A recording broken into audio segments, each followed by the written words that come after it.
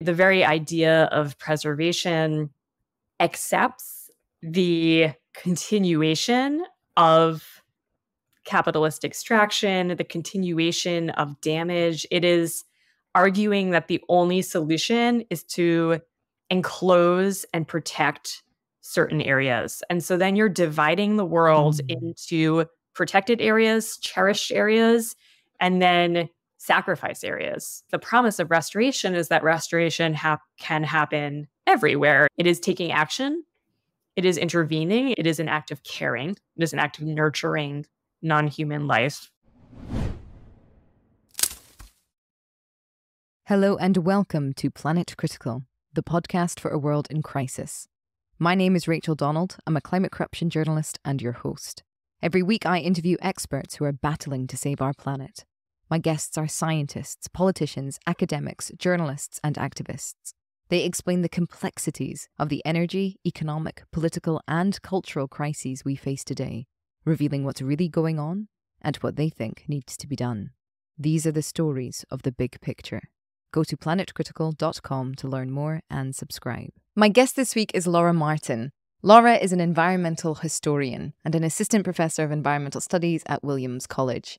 Laura is also the author of the extraordinary book Wild by Design The Rise of Ecological Restoration, and join me today to discuss this topic. This is a wonderful conversation. I so enjoyed speaking with Laura. We start off by looking at the link between the climate crisis and biodiversity crisis and policy, with Laura offering the frame that it is political policies which cause these crises, not just the abstract notions of neoliberalism, fossil fueled capitalism, and industrialization. She says that environmental policies offer us alternatives to our present. So, what are the ones that we can use to build a world that protects both ourselves and the species with whom we share this planet. We then go on to discuss preservation and conservation, the policies which are typically offered to protect nature, but which have very problematic historical precedents, often dispossess Indigenous peoples of their land, and fulfill the same problematic dichotomy that somehow humankind is separate from nature. Laura then goes on to explore the possibility of restoration, that rather than there being this binary of land that we protect and land that we sacrifice. Restoration is the collaboration with other species, humanity doing the labor to restore species to our environments whether that be on the roof of a building, on a wetland, in a forest, in suburbia. She explains her restoration as a policy that combats the implied assumption in preservation that we can continue fossil fueled capitalism until we run out of those fuels, saying that rather than taking action to offset our harm, we take action to care for the world around us. I hope you all enjoy the episode. If you do, please share it far and wide. And if you're loving the show, become a patron on Patreon or support Planet Critical with a paid subscription at planetcritical.com. By signing up, you'll get the Planet Critical newsletter inspired by each episode delivered straight to your inbox every week. You'll also have access to the wonderful Planet Critical community who are full of inspiring thoughts, ideas, critiques, and determination. The links are in the description box below. I'm so grateful to everyone who chooses to support the project. I'm a vehement believer in ad free and open access content, so Planet Critical wouldn't exist without the direct support of the amazing community. Thank you so much to all of you who believe in Planet Critical and keep the project going every week. Laura, thank you very much for joining me on Planet Critical. It is a pleasure to have you on the show. Thank you so much, Rachel. My first question for you is why is the world in crisis? It's a that's a big question. It's a big question. I work on the the um, the twinned biodiversity and climate crises. Um, and the world is in these crises for many intertwined reasons. Um, to start with just one um, small example, focusing on just one species, but one that I think speaks to the ways that all of these planetary crises are interlocked. Um, the other day in my undergraduate class on environmental history, I taught a book by the historian Nancy Langston um, on how different migratory species are facing the climate crisis.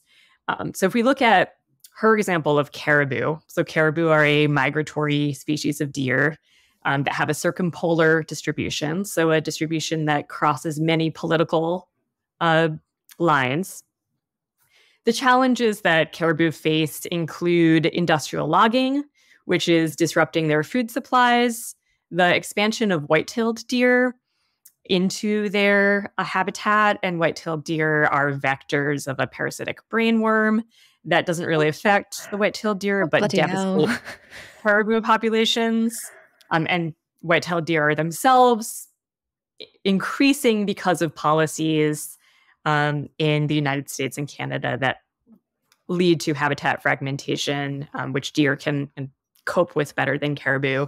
Um, caribou are facing the draining, massive draining of swamplands um, by initially beginning in the 19th century by white settler colonists in North America and continuing into the present. Just this um, summer, the U.S. Uh, Supreme Court uh, uh, in a decision, Sackett versus EPA, um, restricted the legal definition of wetland, making many um, bogs and seasonal wetlands no longer protected under federal law, and so there's going to be an increased um, uh, increased filling and and impacts to wetlands. Um, so that you know impact is on caribou is just going to get worse. Um, then there's climate change. Climate change leading to harder ice, which makes it more difficult for caribou to paw through and get to their food, which is lichen on the ground.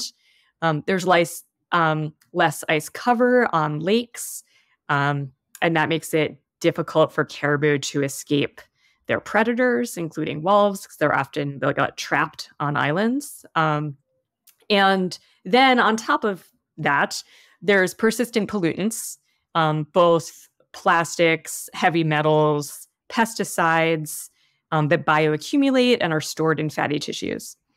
And so all of these different crises are impacting the bodies and communities of caribou.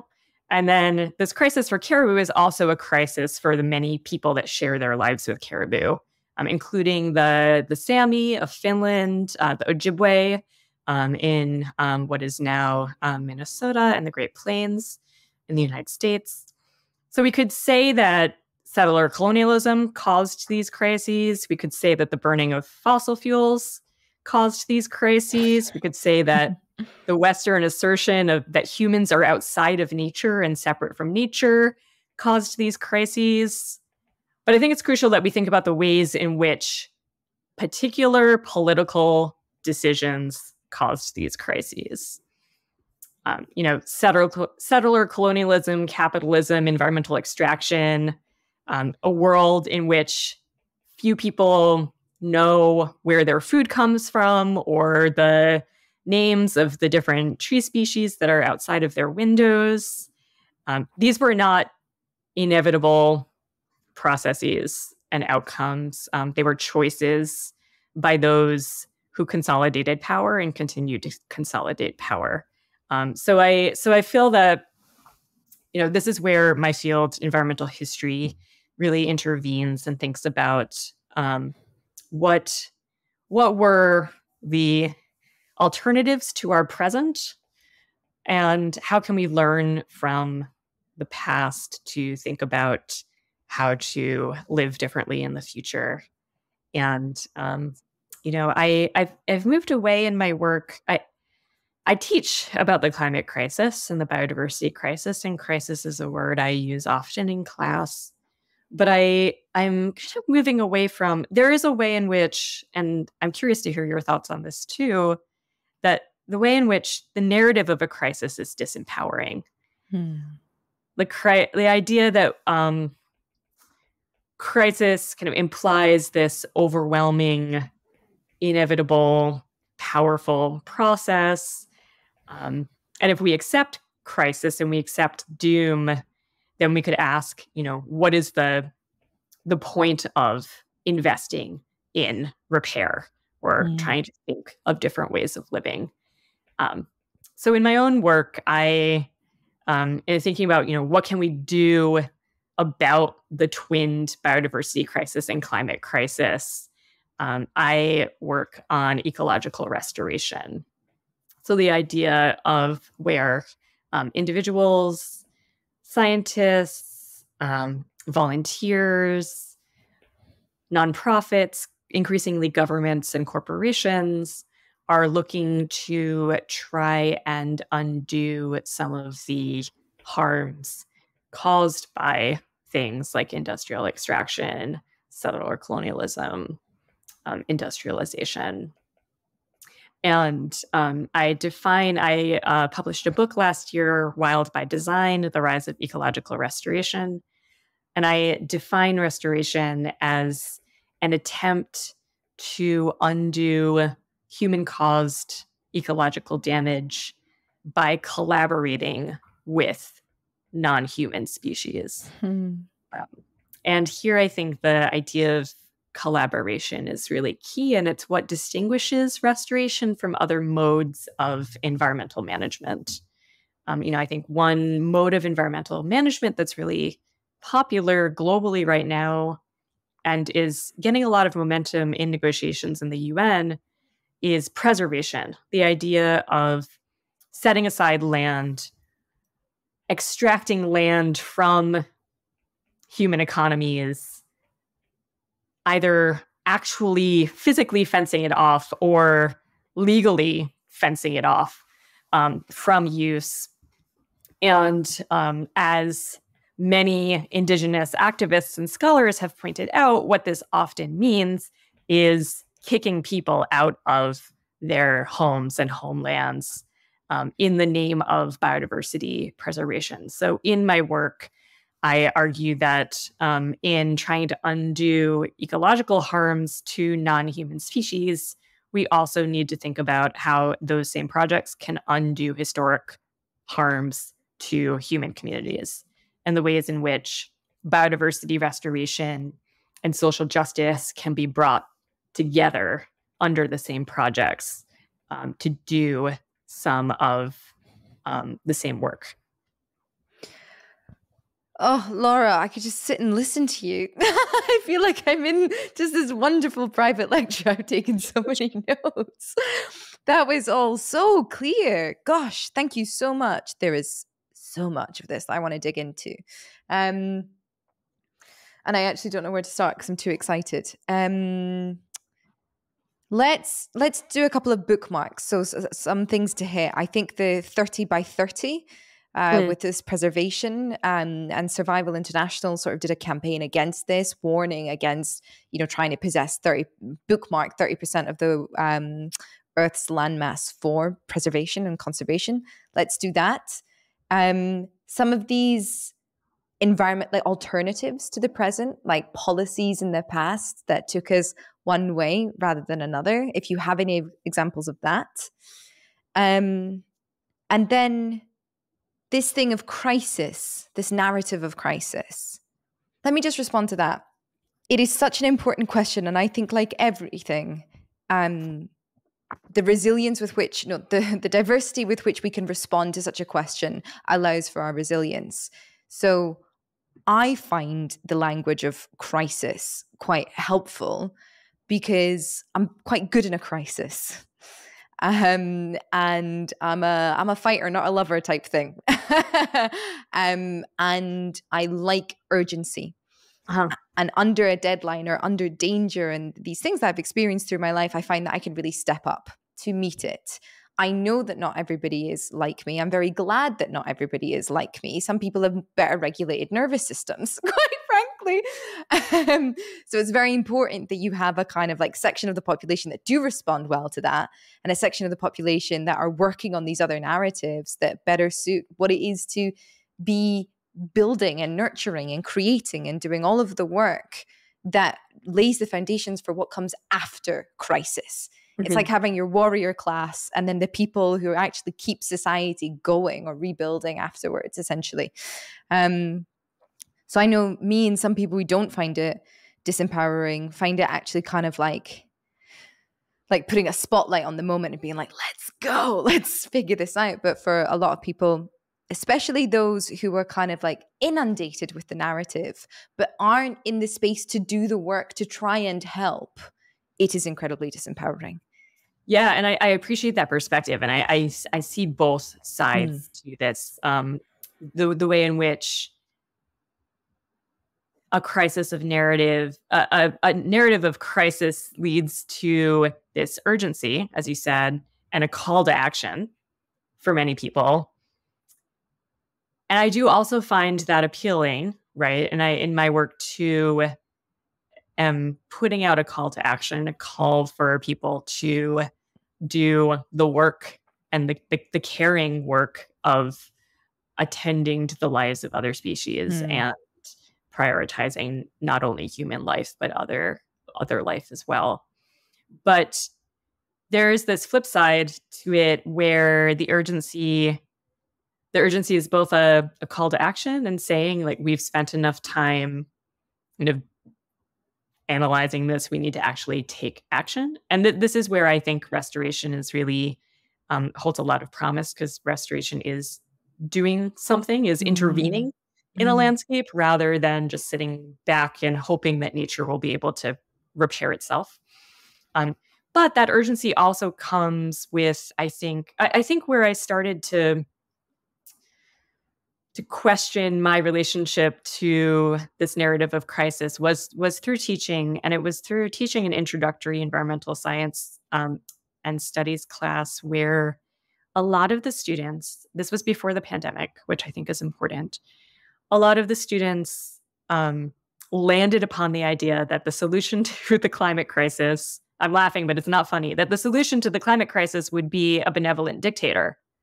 Yes was because no one's acting, mm-hmm. the best way to achieve prompt action is to consolidate power and to put all the power in one person's hand who cares about climate change. Mm-hmm. Right. And that um, kind of anti democratic impulse, the idea that what is needed is speed and mm-hmm. efficiency. I think I think that's the piece. This it's the temper. It's the the speed part of yeah. the, the call to action that um, concerns me. And so I've been thinking recently about, you know, how, what would it mean to put out a call to action to respond to the biodiversity crisis, to respond to the climate crisis, um, but that one one that's taking a, a slower approach. Totally. If we think about it takes thousands of years for peatlands to develop. So you cannot restore a peatland in two years um, even though funding cycles for environmental projects might be two to five years to grow a tree.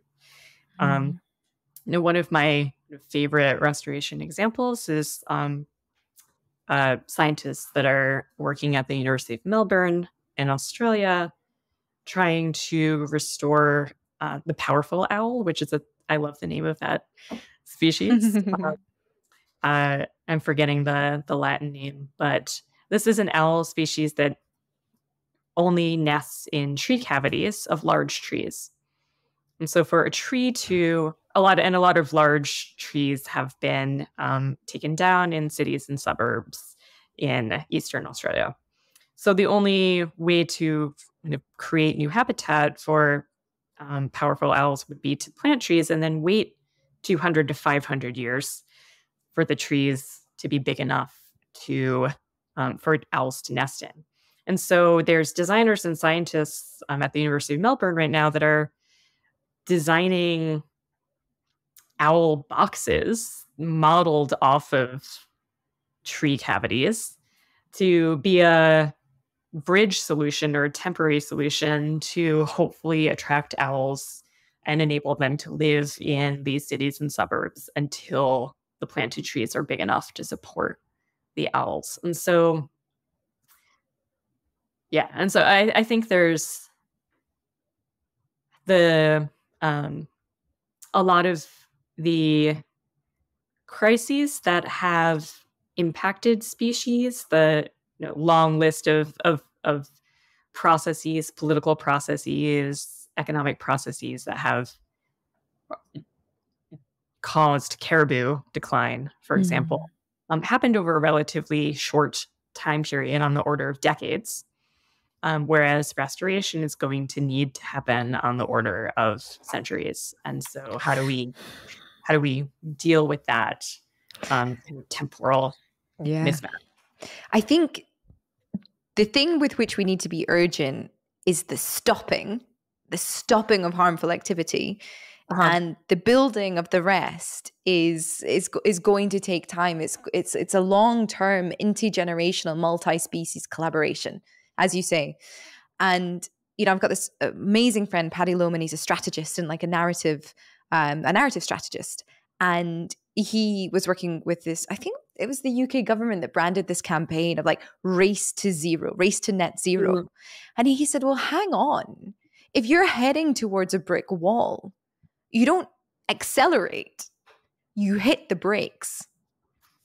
Like that, this needs to be the framing, not that we're ramping up everything in order to get there. We need to be slowing down and contracting and doing less, like much less of the harmful stuff, more of the good stuff. But overall, less. less. We need to be doing less. And I think that's um, such an important way of thinking about like harm reduction as well, and to, uh-huh. to stop being um, kind of co-opted by this sense of urgency that is now seeing like billions of dollars being thrown around the world with with no real good solution on offer. Certainly the solutions that are on offer to the financial markets that they want to respond to um, because they want things fast because they deal like they live in like quarterly time frames rather than 200 300 400 500 year time spans which is what we were talking about if we're talking about restoring. So let's let's get into it and let's keep this framing of this like multi-species collaboration which i think is so important. Um restoration it's not something i've uh, discussed a lot on the show. I am really really interested in it because i think where I come from with my investigation into climate corruption, I'm always very suspicious of like anything that's like, oh, we're going to help nature because everything that I've investigated so far is deeply harmful. Um, so to get there, can, can we keep digging into this difference between like preservation and restoration and talk about this 30 by 30 campaign, mm-hmm. which was led by, I can't remember if it came out of a COP, but it, it's definitely like a, a, a centralized governmental campaign 30% of the world's landmass should be reserved purely for nature by 2030 and human rights and indigenous rights and nature rights campaigners all over the world went whoa that's a that's a land grab yeah and and it is a land grab and it's it it is proceeding apace so it the 30 by 30 idea is it has a few different um origin points um one of them being the work of the late conservation biologist E.O. Wilson, who um, put out a book before his death arguing for setting aside 50% of the world in protected biodiversity reserves. The book does not mention where this would happen and who would be displaced, as many um, you know anthropologists and sociologists quickly pointed out. Mm-hmm. But at the same time, a number of different influential environmental NGOs kind of picked up on this idea of conserving and preserving 30% of land by 2030. Um, this was an idea that was then introduced to the United Nations. Um, it, has, it, has, gained a ton of traction both um, within governments and uh, within the United Nations, and then also within private corporations as well. Shocking. Um, it's it's a big kind of fundraising campaign, and it has had direct influence on both legislation and policy. So, within the United States, the Biden administration has, through um, through executive statements, not through legislation, has committed to a 30 by 30 plan. Um, and the Department of, of the Interior is working on a vague sketch of what that would look like. In the United States, the federal government already owns a lot of land. And so that makes the 30% feel kind of achievable, although is also of deep concern to um, indigenous governments, um, nations that are sovereign, um, that are surrounded by the United States, um, as well as um, federally unrecognized um, tribes and people who live in the Western United States on on and adjacent to federal land. And then um, the European Union recently passed a restoration law um, that is likely to go into effect that calls for countries to conserve or restore 30% of their land area. And it's interesting that their restoration is um, a piece of it as well, because restoration, being a more capacious activity, does allow for continued human use and human inhabitation, but um, with a an eye toward improving habitat for other species. So we're seeing this, um, and I, I do think that we will see other governments take up this idea as well. Um, there is UN funding behind it. Mm-hmm. Um, 2030 is rapidly approaching, though. I mean, like whether these things actually get implemented is another another um, story. But I think that there is both promise and peril in this excitement over this idea. The the peril is, you know, as we um, both briefly mentioned, the um, reality of human rights um, violations and the actual um, displacement of people for the protection of other species.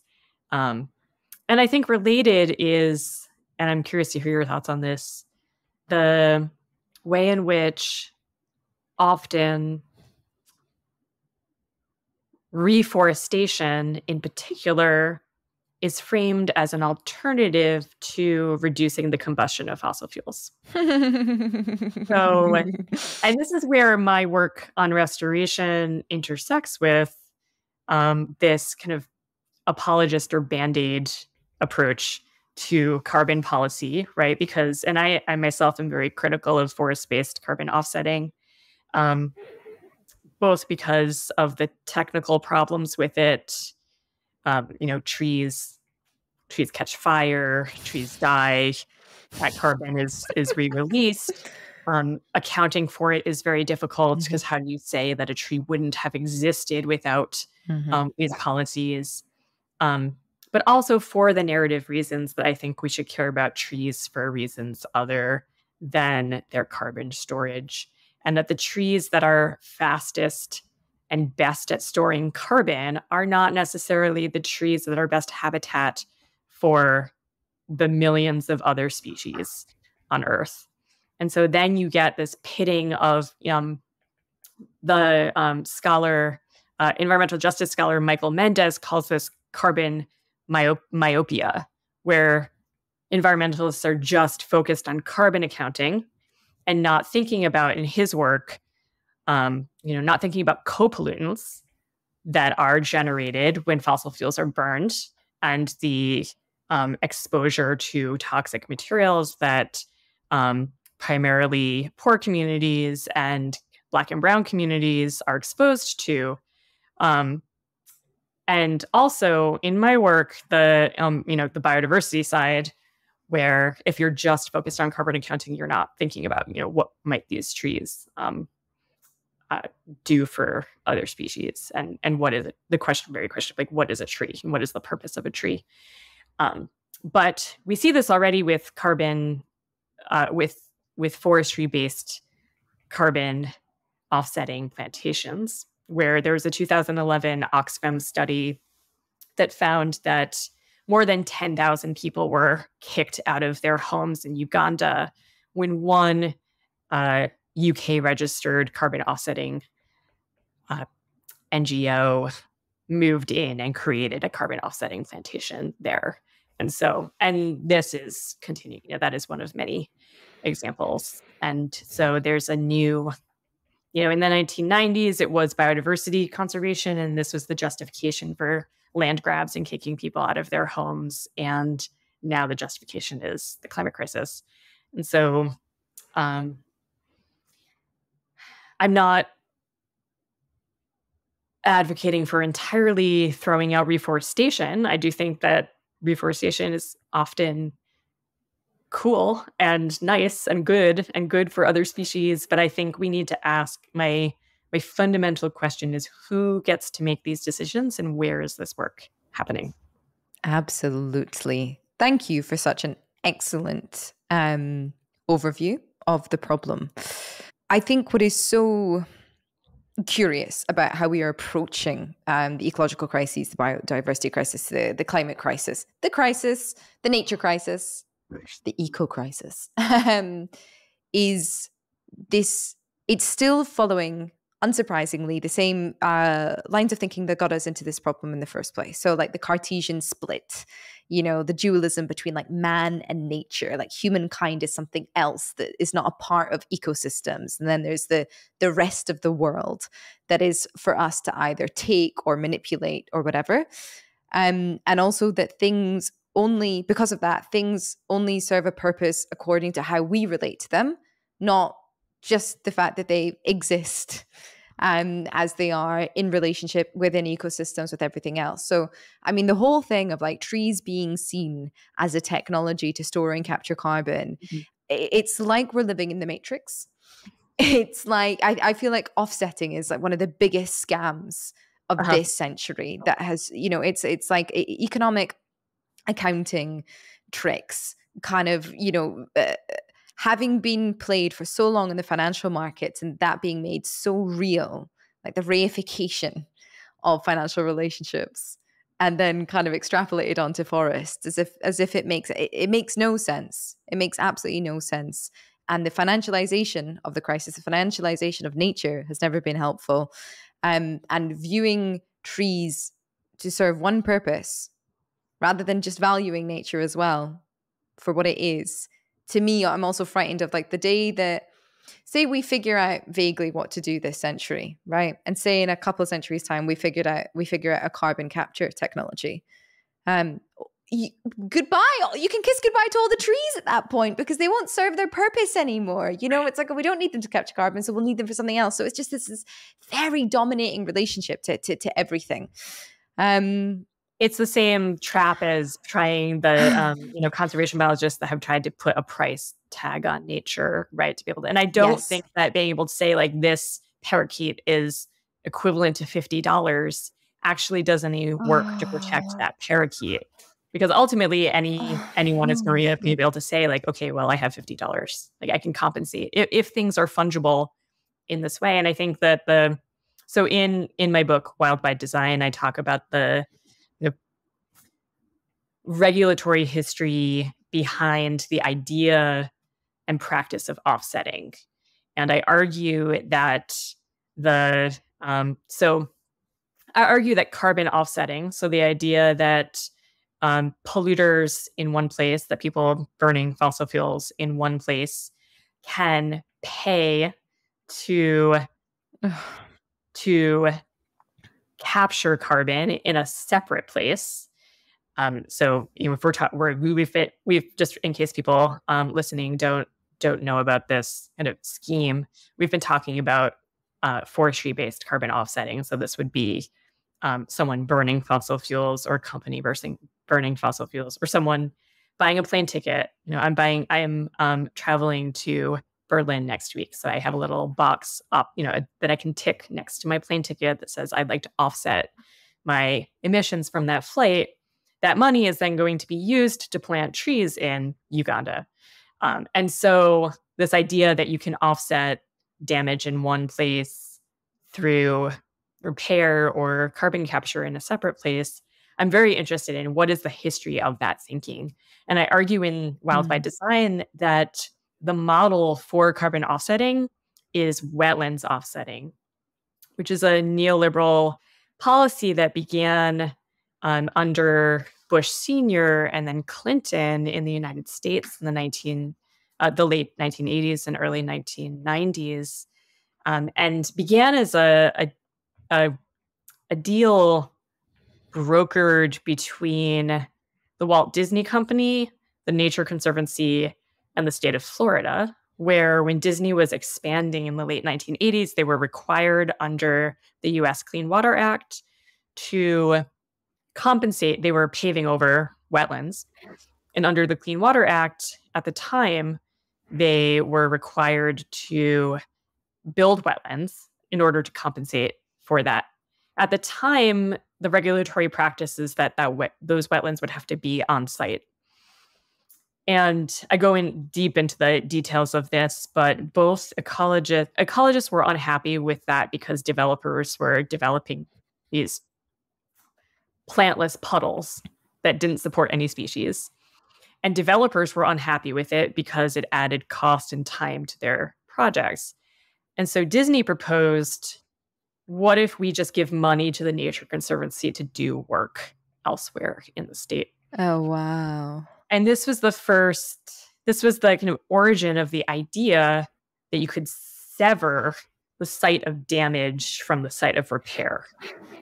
And this becomes very explicitly the same people that kind of broker this arrangement then go to the UN and kind of engineer the REDD Plus program, the um, and uh,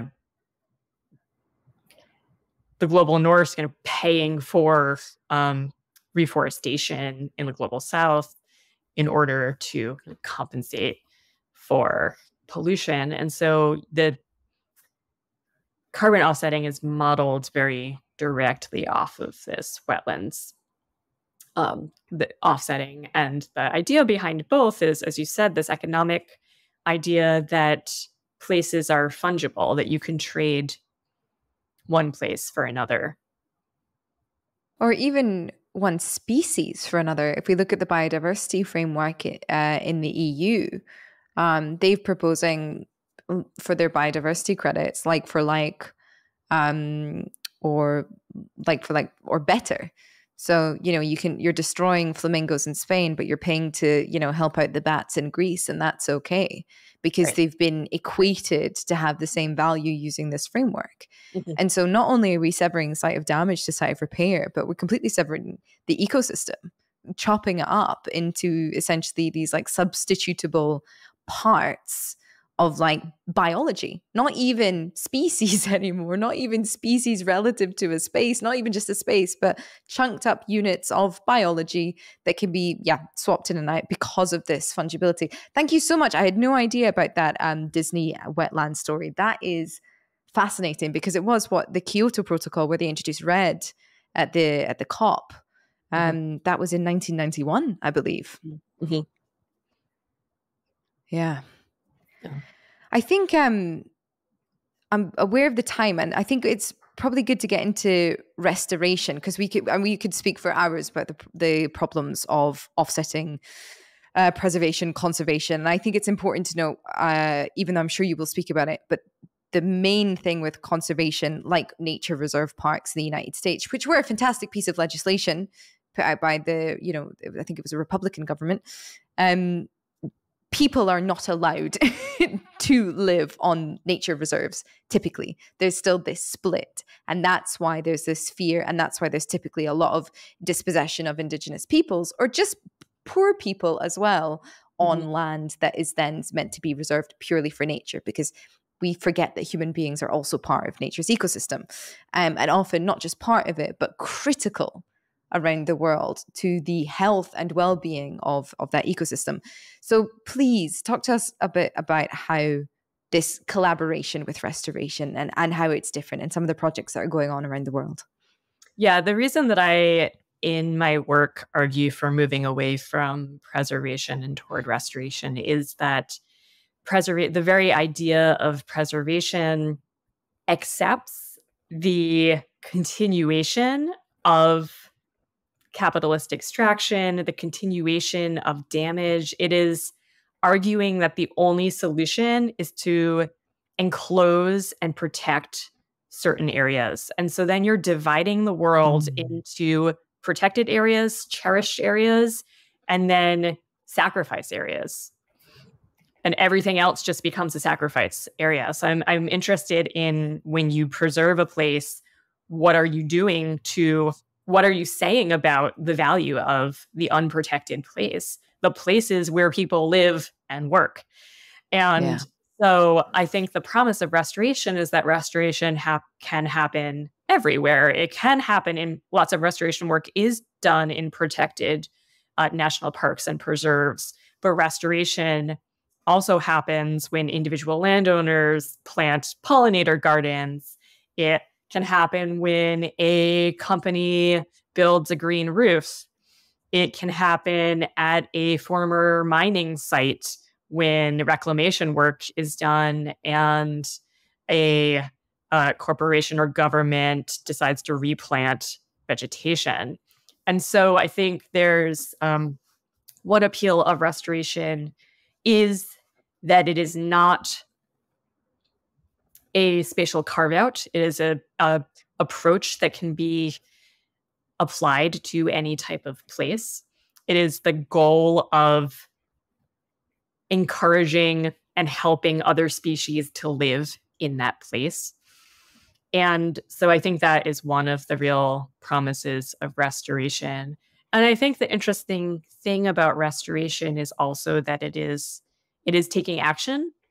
It is intervening. It is saying like we as humans are going to do labor to raise species and return them to the landscape or cultivate them on the landscape. This labor mm. is often currently voluntary, volunteer labor, right? But we could imagine a future in which it is compensated labor.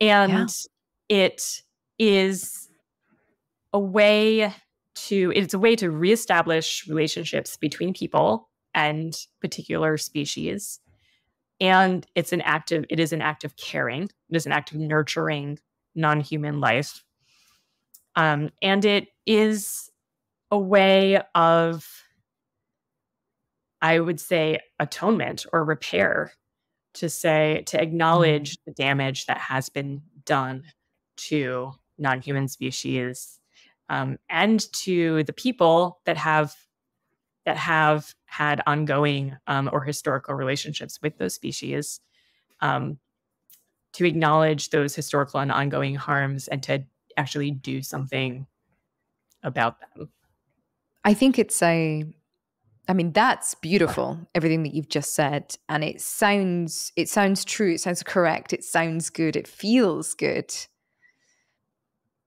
The, one of the things that when you're talking was that I thought about was this awareness of of you know acknowledgement and taking responsibility, accountability, um, and how actually so much of the policies that we need to go forward are rooted in accountability, okay. and it is a big part of why they're not happening. So, like loss and damages at um, at the COP uh, conferences, why the United States is the big belligerent bully that is really um, sort of rejecting loss and damages uh, or climate reparations, which is another way of putting it, when i.e. the global north, these countries that are historically responsible for emissions, giving money to global south countries um, to acknowledge the damage, help them pay for climate mitigation, do their own energy transition, etc., etc. The United States from what I've been told by campaigners, is so against it because they're terrified of being opened up for lawsuits mm-hmm. um, for the historical emissions and the damage that they have caused. And I mean, even thinking about, you know, how um, people of color are treated in Western liberal democracies, or in particular the United States, where there has been recently an acknowledgement of slavery, but no attempt to pay uh, reparations for slavery, no real attempt either to lift the conditions um, that are still like the racist conditions that are still impacting uh, the descendants of people that were torn from their homes and deposited in a new land to be slave labor. These systemic injustices that are still ongoing. And so it's so frightening and so like kind of morally reprehensible that this is this is the state of play today that essentially to do what we need to do we need we need to say sorry mm-hmm. and acknowledge that harm was done and that we can't go any further with that model and yet the hubris or the fear or the um, uh, desire for continued domination stops these policies being implemented even when it comes to you know our fellow humans Absolutely. And and I and there needs to be that that simultaneous, you know, reparations in the form of both acknowledgement and action, um, whether we're talking about mm-hmm. enslavement, whether um, and the ongoing um, ways in which racial oppression has morphed into other forms, um, or whether we are talking about, um, you know, the extirpation of predatory species in North America, there needs to be simultaneous. And, and I think it's really terrifying to see the um, way in which this is in the United States becoming a partisan issue. And there's been um, mm. incredible retrenchment and pushback against um, the idea of even teaching children about these histories um, and mm. efforts to, to ban books, efforts to um, ban the idea of um, critical race theory, right? Like these these just efforts, mm. monumental efforts to avoid the political potential and world that could come from acknowledging historical and ongoing harms. And I do think that, yeah, I do hear though, you know, the work to separate people from nature um, is part of this obfuscation, um, part of this avoidance of um, addressing these intertwined harms and doing something about them. I completely agree. I mean, it's so easy to not think about the damage being done by industrial fossilized fossilized fossilized capitalism probably doesn't make sense fossil fueled capitalism and neoliberalism when we are like scurrying around concrete cities and nature just exists as these kind of like aesthetic little um, interruptions. Um, you know, like the trees along a, a, a sidewalk, a pavement, or a park in the middle of a city. And it's this kind of uh, this, these nice little breaks, but they, they, they, don't actually exist within the landscape of anything else. I mean, even the fact that there's this like massive binary between at one moment you're on a street and the next minute you're in a park. Um, it's so easy to not think about how the how cities are wrought and mm-hmm. how the lives that we le- lead cause such damage. And I think it's it's a very I was going to say it's a very deliberate ploy. I really am questioning the sort of um, capacity for most people in charge to think coherently, um, but it's it's but the results. That, say, oh, yeah, yeah go on. a lot of environmental activism and and scholarship really has had focused in the past few decades on getting people to see the ways in which cities are connected to the sites where the materials that enable life in cities are extracted. So the idea that there's all of these um, people and landscapes and species that are affected by extraction that are hidden in urban life. Um, now I think we see with increasing attention to climate justice and climate change, the reverse of it's not only extraction that is affecting people, vulnerable people, and environments. It is consumption as well. And the ways mm. in which, with the burning of fossil fuels, you get obviously the contribution of greenhouse gases to the global atmosphere, our shared atmosphere, uh, the air that we all breathe you also get the mm-hmm. global mm-hmm. transport of pollutants. And so a decision mm-hmm. to burn fossil fuels in Ohio in the United States is a decision that affects um, Sami people in northern Finland, where the pollutants from that coal, uh, let's say coal fired um, electricity generator, are being are coming out of atmospheric um, out of the atmosphere and being deposited.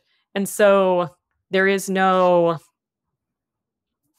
saying, and I think, you know, it, we would say recently with climate change, with the Anthropocene, there's no saying that there's localized impact, but I actually think that's a that that has been the case for for centuries, right? They um it is not it is not globalization did not happen in the 20th century. It has ha- happened centuries earlier. Thinking about that global interconnectedness is some activists and scholars argue that that is paralyzing, right? That that global scale makes it that crosses all political boundaries, makes it impossible to um, assign responsibility for who has caused harm and who should rectify harm. But but we yeah.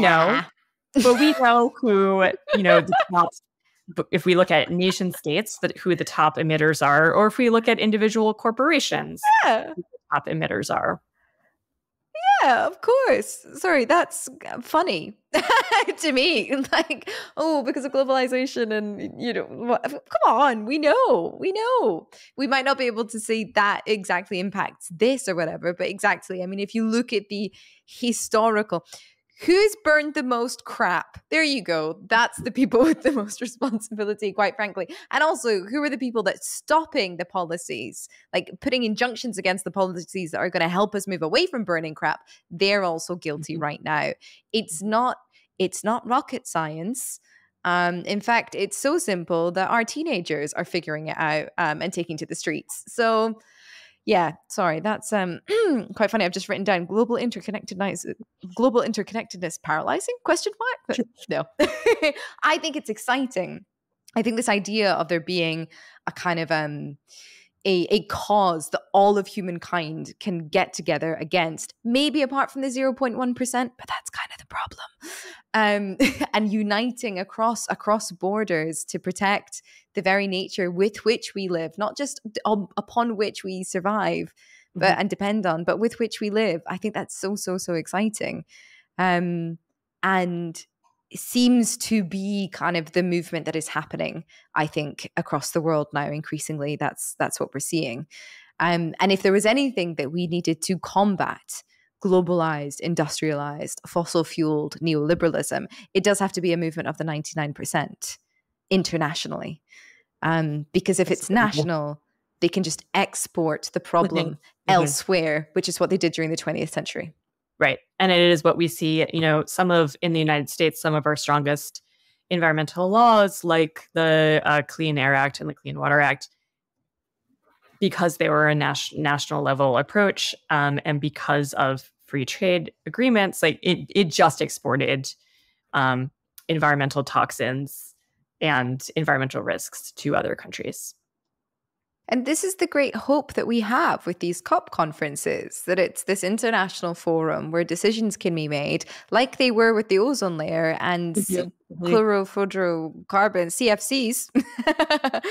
um, you know, just okay, we're going to ban them because they're causing harm, and we we need the ozone layer, otherwise, you know, our first dermal layer is going to peel off or something, you know, very dramatic and horrific like that. Like we have a precedent for the international community coming together and mm-hmm. national communities, you know, independently coming together and making decisions, putting forth legislation that is necessary. And it is astonishing and mind bending that that has not happened with the biggest existential threat that humankind has ever faced.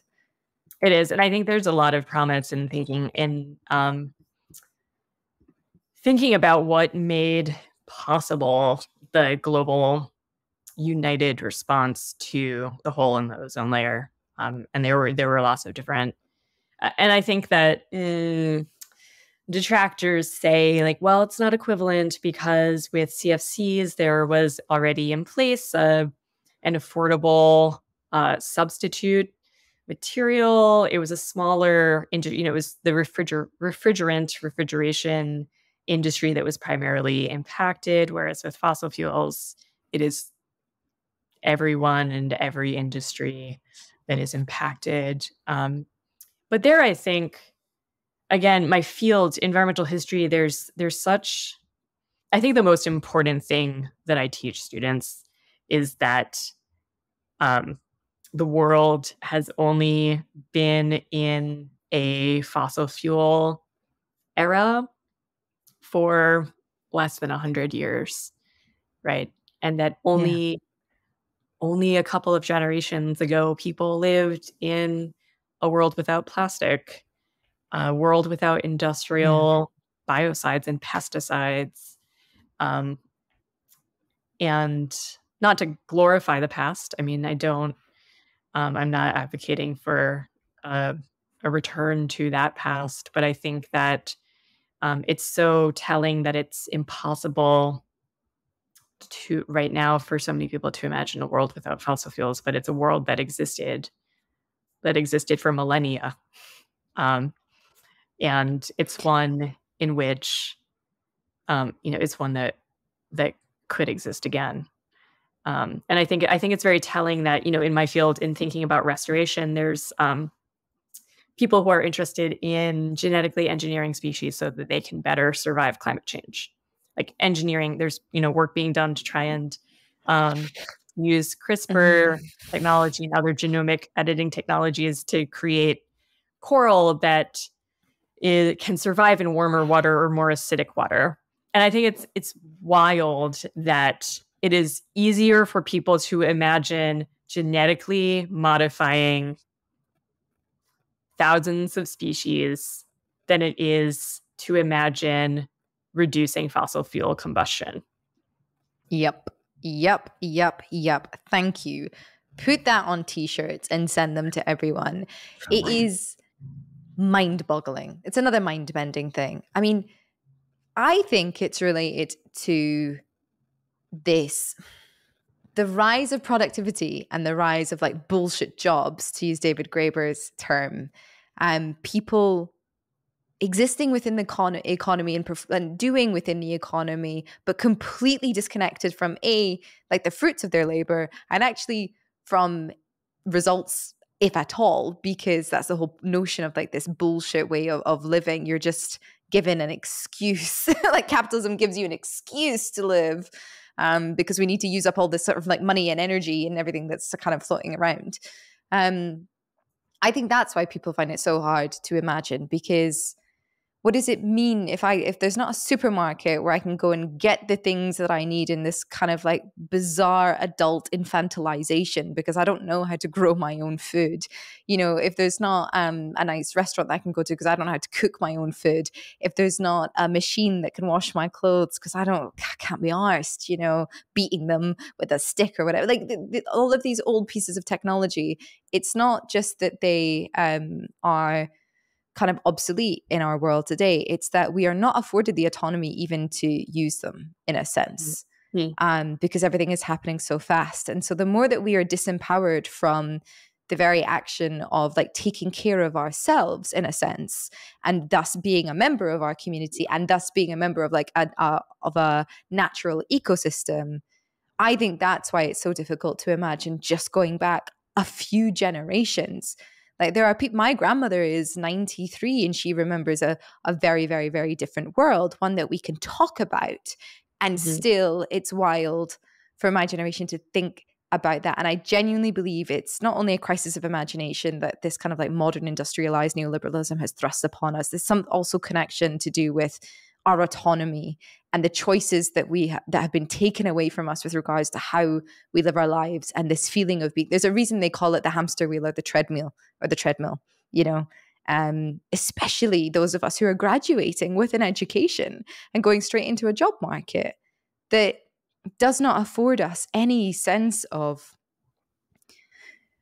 yeah choice. Again so uh, yeah there's that that was that thought didn't quite end on the punchline I was hoping it might, but there's something in there. no, and I think the severing of labor from creativity too, right? Um, yeah, so much more.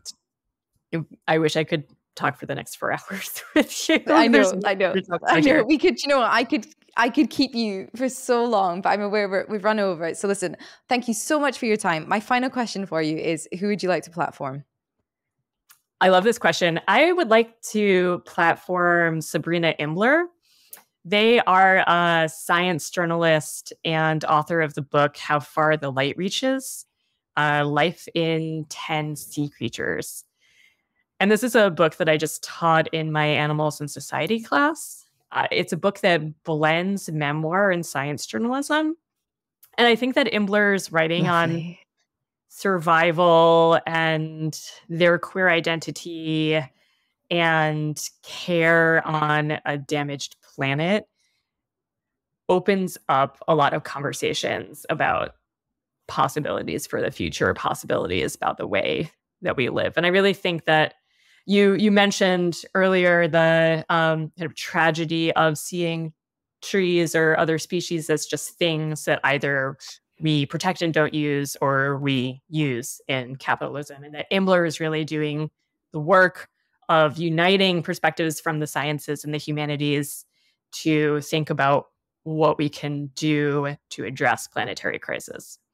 Oh, what a wonderful recommendation. Laura, thank you so much. Thank you. If you want to learn more, I've put links to everything in the description box below. Remember to subscribe to the channel if you're new here and share the episode if you enjoyed it. To support the show, subscribe at planetcritical.com, where you can read the weekly newsletter inspired by each interview. You can also become a Planet Critical patron. All links are in the description box below. As always, my deepest thanks to that community. Planet Critical wouldn't exist without your support. Thank you, everyone, for listening and for coming on this journey together.